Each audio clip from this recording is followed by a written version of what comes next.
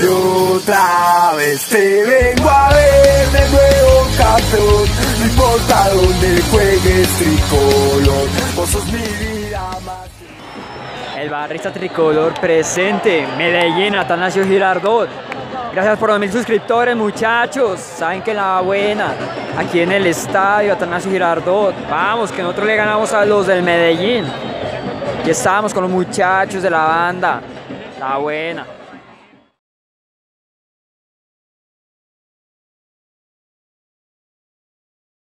Jajaja, bueno, hola hinchas tricolores, perdón por no haber subido vídeos, lo que pasa es que tenía que hacer unos ajustes y descargar nuevos efectos para el editor que uso y todo eso, pero ya todo está bien, sin nada más que decir comencemos.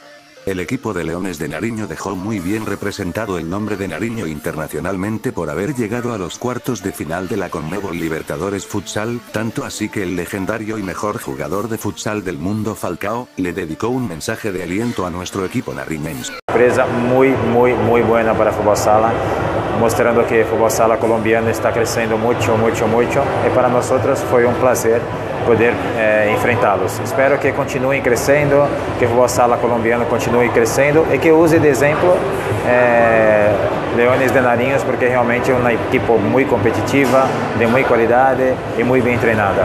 Um abraço e sorte.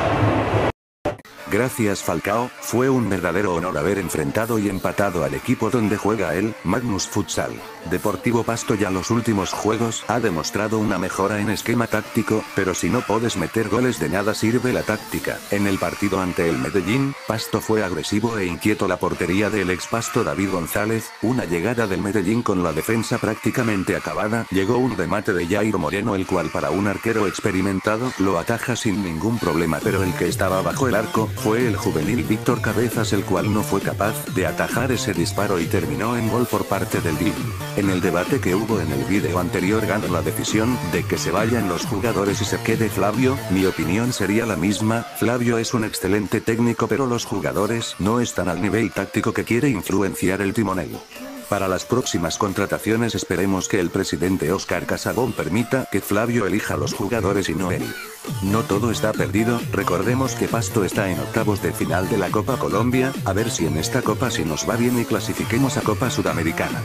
Bueno hinchada tricolor, eso ha sido todo, dale like, comparte y suscríbete, el barrista tricolor les desea lo mejor.